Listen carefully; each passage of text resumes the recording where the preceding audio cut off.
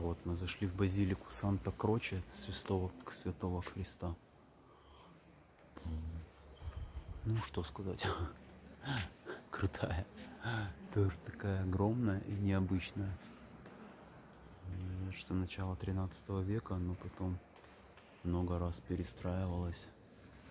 Здесь, что интересно, много захороненных знаменитых, около 400 вот, на, пол- на полу гробниц.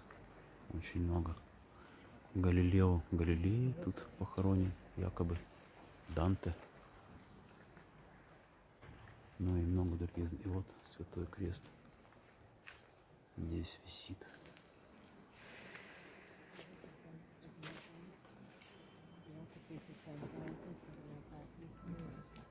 Ну и как всегда у них органы. Органы вот здесь сбоку.